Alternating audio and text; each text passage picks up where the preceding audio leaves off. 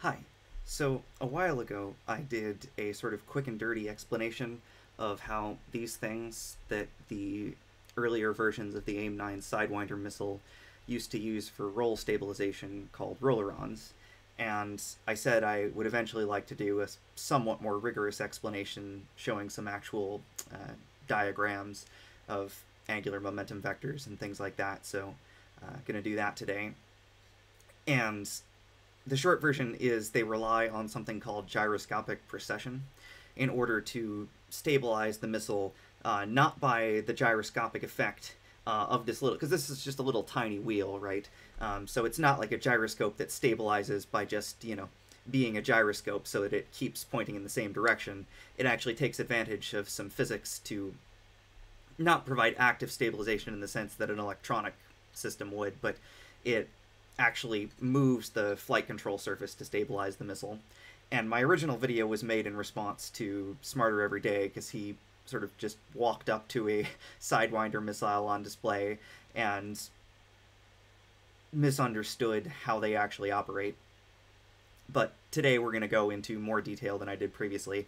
And if you're not familiar with how gyroscopic precession works, uh, well, one, there's tons of videos all over the internet explaining it, but I also did my own explanation uh, a few weeks ago, so I'll link to that in the description. Uh, you might want to pause and take a look at that if you don't already know about gyroscopic precession, because we're going to be sort of assuming you know more or less how it works today. So, how do these things use gyroscopic precession? Well, the key here is they have to stabilize the missile in roll, right? Because the missile already has control surfaces up front, because the missile knows where it is and where it isn't. And it uses these control surfaces to point itself in pitch and in yaw uh, towards its uh, target, which is generally an enemy warplane. And so, well, what about roll? Well, nowadays, modern missiles have an inertial measurement unit, essentially uh, a gyroscope that is used uh, just to measure the roll uh, of the missile as well as the pitch and the yaw, uh, and just the position too. It, and then there's a digital computer that processes all that information and can stabilize the missile in uh, all three axes. But when they originally developed this missile, they didn't have that option because uh, they could have built an analog computer to do that, but uh, this is a very small missile, and it would not have been feasible to cram all of that uh, into such a in such a tiny thing. Whereas comparison, uh, this is I mean these are both obviously scale models, but uh, this is a roughly to scale uh, model of the AIM-7 Sparrow missile, and and this missile does not have rollerons. It uh, is a much bigger, heavier missile, and I'm actually not 100% sure if the original version of the Sparrow missile used rollerons, or if it was heavy enough that they just used an uh, inertial measurement unit with an analog guidance computer um, because it, it has these very lo- these are actually wings in addition to being in addition to being control surfaces these actually provide lift uh, to help the missile fly to its target. And so uh, that's something I'm not sure of if anybody knows if this had uh, an IMU on board or if it just relied on how big and chonky these wings were to prevent it from rolling and just the fact that it's a bigger heavier missile but there was uh, neither enough inertia nor enough space for an IMU in something like the Sidewinder. And to make matters worse, in the old versions of the Sidewinder, wider, they had a basically a, a single a single pixel camera for an infrared detector, and that one pixel would spin around scanning different parts of the sky, and depending on you know when it picked when in its rotation it picked up a signal is that is it would based on that um, you know, and synchronizing its rotation with an analog guidance computer, it would move the control fins towards the hottest thing it saw. Uh, modern versions have essentially just an infrared imaging camera, and then there's a digital uh, algorithm run in a digital computer that uh, determines where the missile should go. And, and then there's also modern radar guided missiles, like this is a little model of the uh, AIM-120 AMRAAM missile. Uh, and this, all, you see, this also has relatively small control surfaces. Um, but it's a modern missile, so this definitely would have just a separate inertial measurement unit to make sure the missile doesn't roll around and tracks its target. So how do you stabilize this thing, though? Well, that's where the rollerons come in. And so if you think about it, if the missile is you know flying this way, say towards me or over my shoulder, hopefully it's not going to hit me in the face because it is a, a missile with a warhead. Well, what if the missile starts rolling, say, this way from your perspective, counterclockwise? Well, how do you correct that? Well, if you think about it in terms of something like an, an airplane wing, which I'll just hook up the little servo tester here so that we can take a look at that. Sure, I don't wire it backwards. So, let's say the uh, let's say the for you the the wing on your left, uh, which since it's coming towards me, that would be the proper direction. So the the le- that would be the left wing, right? Say the left wing starts dropping. Well, we need to drop. We actually need to drop then the left aileron, right, to pull that wing back up. Versus if this wing starts coming up, we need to bring up that left aileron to bring the wing back down. Right. So, same is true of the Sidewinder missile, right? If we have the missile starting to spin this way, we need the rolleron to kick over this way, right? Which I have this little 3D printed models that are expanded, right? And so we're gonna first we're gonna analyze something like this, where the uh, hinge is just at a 90 degree angle, right? If this this circle toilet paper tube is the missile body, and it's only hinged in this axis. And if you look at pictures of the very earliest versions of the Sidewinder, uh, they were hinged at 90 degrees like this. And actually, one of the things that uh, Smarter Every Day wasn't quite sure of is why uh, these little why why there's this little 45 degree cut in in the rollerons for most versions because um, only the very earliest versions had that 90 degree and most of them are cut like this where they have this 90 degree, or sorry, this 45 degree, uh, this 45 degree cut, uh, and it's not 45 degrees on the corner like this, right? It's this sort of internal 45 degree cut so that the rolleron uh, hinges back and forth like this. And that's basically to stabilize in pitch and in yaw, and I'll explain in a few minutes why that's necessary, but it's easier to understand the original version, uh, which is probably why it was the original version, um, where it's just at a 9 degree angle. So if the missile, say, is coming this a ways, and it starts, uh, try to line these up as best I can here. The missile is heading this a ways towards me, away from you, the camera's perspective, and let's say it starts rolling uh, this way. Well, then, right, you know, the rolleron needs to come over this way to compensate, right? Because then the aerodynamic forces will push it back this way, and then the missile will roll back to vertical. Or if you want to look at it with the, this thing off to the, the, side horizontally, so that it's the same as when it was with the uh, with the aircraft wing. Uh, you know, if this one starts dropping, then this one has to come down to lift that wing and bring it back to a neutral position. So how do you achieve that, right? Because this is where Destin got it wrong, right? Is that he was saying that it just relies on the fact that, you know, so the key is that there's this little doohickey at the back, the back, right? There's the actual rolleron wheel, right? And there's little tooths, teeth. These little teeth sit out in the airstream. And as a result, this thing spins really fast and it develops quite a lot of angular momentum. And so that will give it all the properties of a gyroscope, right? And one of the properties of something with angular momentum or gyroscope is that it doesn't want to change the direction that it's spinning, right? And you have to, excuse me, impart a torque on it in order to get it to change the way that it's spinning.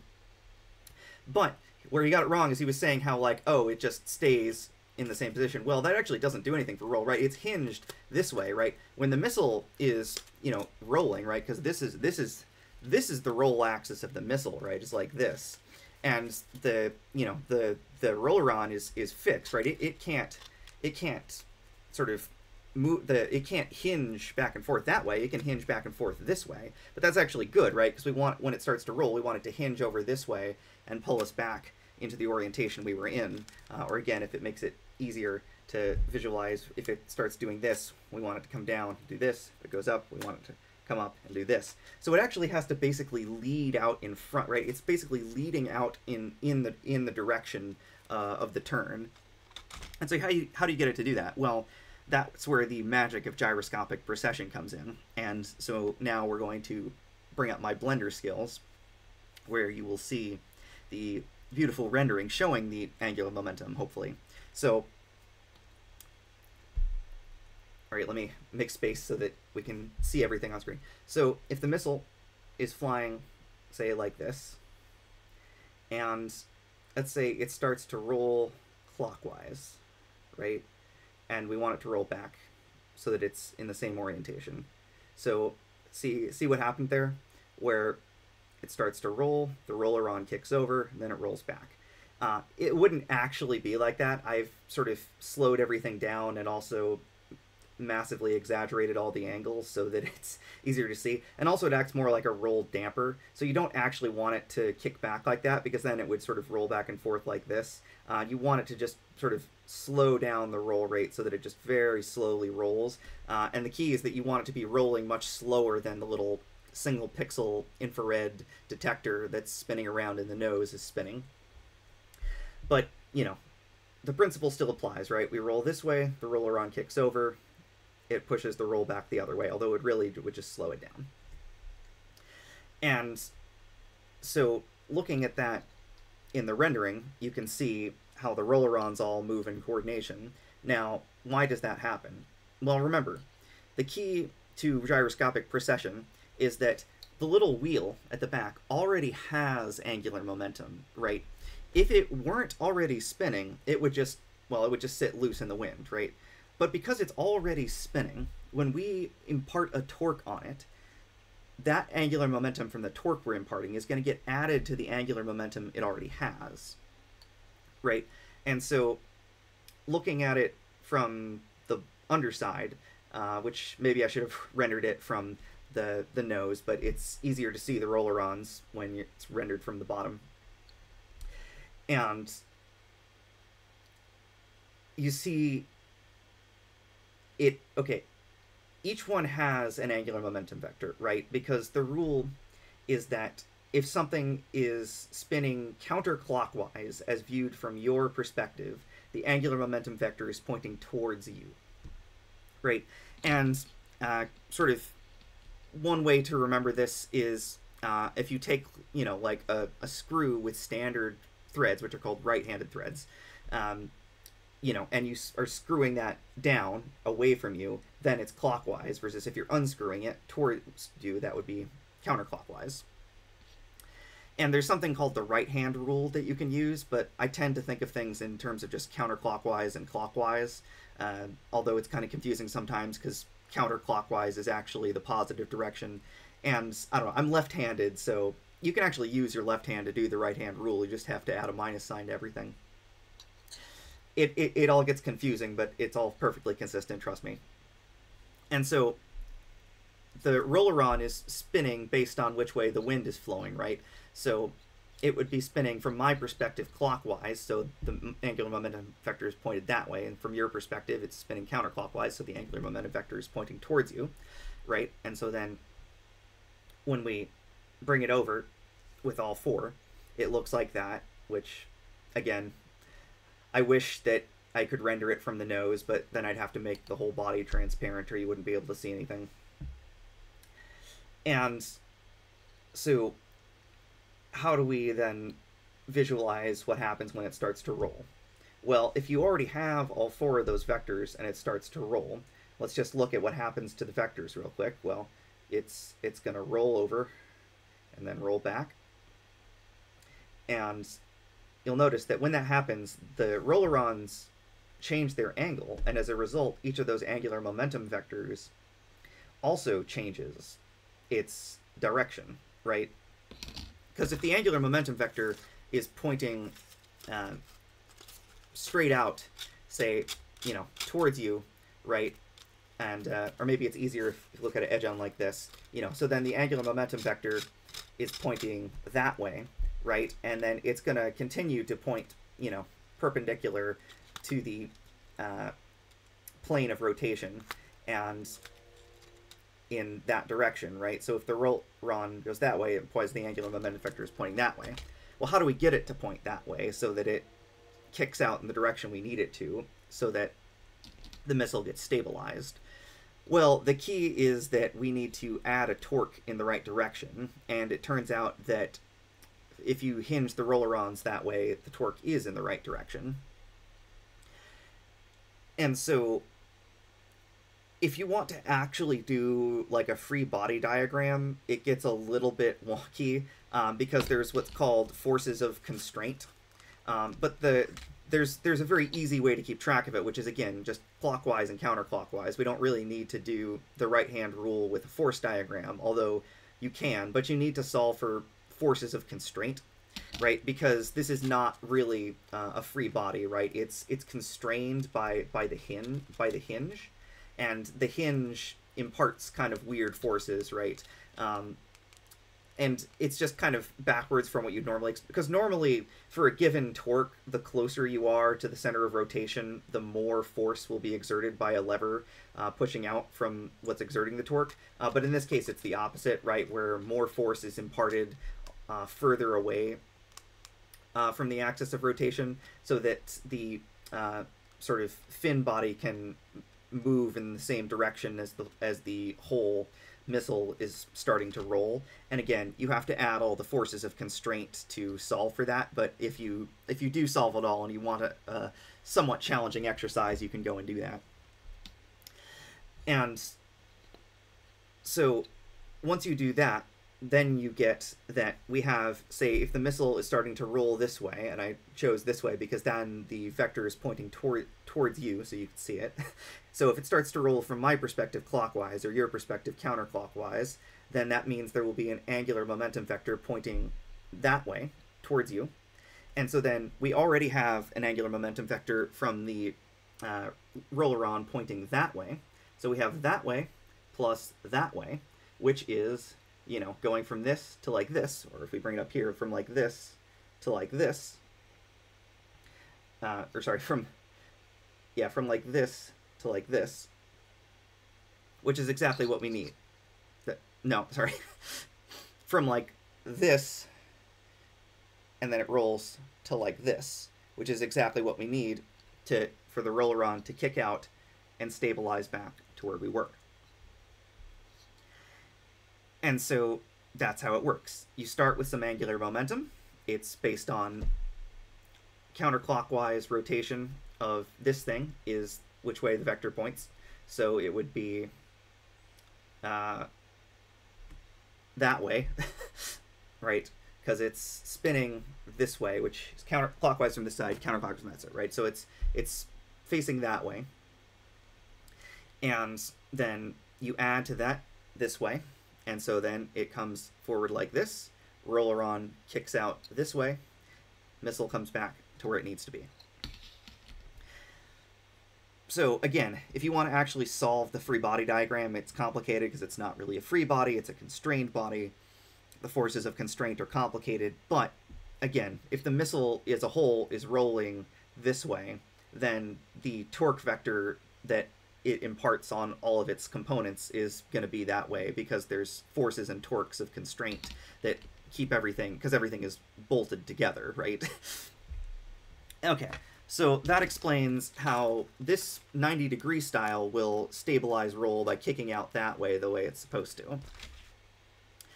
Um, all right, well, what about this style though?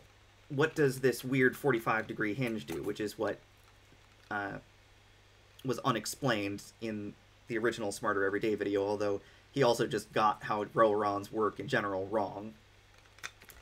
Well, this is to stabilize pitch and yaw, and you'll notice that the missile already has control in pitch and in yaw, so why bother? And it's basically because gyroscopic not precession, but just the fact that this is an object with a lot of angular momentum does also keep it in the same plane because when it rolls, the hinge won't let it move, right? The hinge only moves this way. But if the missile, the missile say is changing its changing its yaw, well then you have a problem because this is going to want to stay in the same place. But now it's actually destabilizing, right? Because if if say if say the missile kicks over that way, and now this control surface is out that way, it's going to push it even further that way. So the rollerons will actually destabilize pitch and yaw if you put them at that 90 degree angle, which is sort of a, I think, mistake they made in the very early models. And it's not so bad that they are non-functional, but uh, they sort of add this 45 degree cut in order to use gyroscopic precession to also stabilize pitch and yaw, but it's not to stabilize them in the sense of like the overall stability. Well, it is for the overall stability of the missile, but it's basically so that the rollerons are awash with regards to pitch and yaw. They don't destabilize or stabilize. But if you do that 90 degree cut, they're destabilizing. So how does that work? Well, same exact idea, right? Except now because of this 45 degree cut, there's different forces of torques and constraint. But exact same idea, right? It can only hinge in this specific axis, which is at a 45 degree angle. And now it's still got the same angular momentum, right? This thing is spinning counterclockwise, so angular momentum vector pointing towards you. And then, as a result, what's going to happen if it starts to, uh, let's make vert, let's say the missile starts to, you know, yaw over or pitch over this way.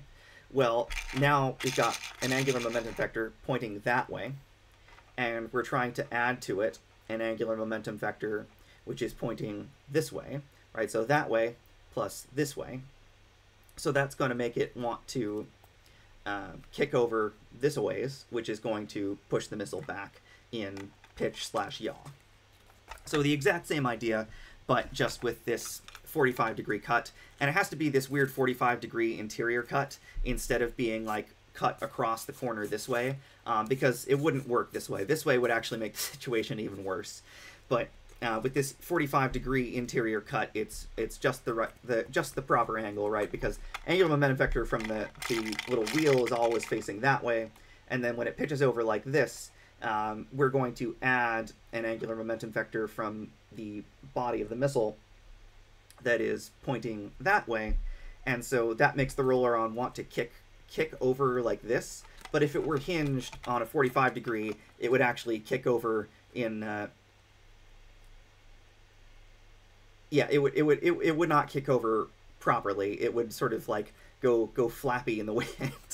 um, and I'm actually trying to think if because it uh, it would instead be trying to it would still be trying to go um, you know add this vector to that vector and it, oh yes it would be trying to go no it would still try to go that way um, Oh right, but then but then that way instead of going out on this side, it would be coming out on uh, on this side instead, um, because it would be you know going like this to like this, and that would be an aerodynamic force on this side, uh, which would actually um, cause it to pitch over even more. Yeah, so it, it would be destabilizing if it were cut the other way. So that's why rollerons rely on gyroscopic precession, not the stability of gyroscopes to stabilize the uh, Sidewinder missile. Uh, now they just have inertial measurement units and digital com guidance computers, so they don't need those anymore. And electronics have all been miniaturized, so they can cram anything they want to, even to, into a small missile like the Sidewinder. Uh, and also the something that Smart Everyday did mention is that the modern Sidewinder has thrust vectoring too, which actually doesn't necessarily provide roll control, it just provides a lot more control. And it's just a much more sophisticated missile, so. But they, they used these uh, well into the uh, very late models of the Sidewinder, so they were a very effective technique for stabilizing the missile. Uh, anyways, that's how they work. Uh, yeah. Thanks for watching.